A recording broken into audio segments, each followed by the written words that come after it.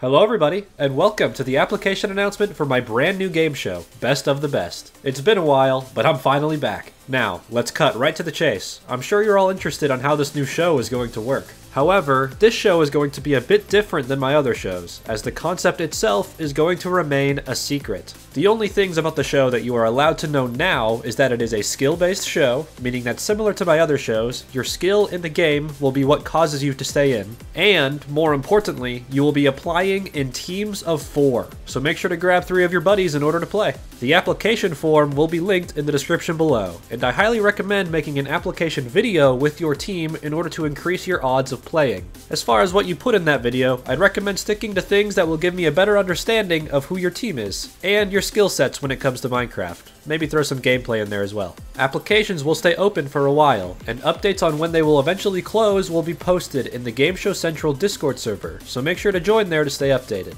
So, are you down for the mystery? If so, apply now. It'll be a lot of fun. With that, I hope to see you all in the show.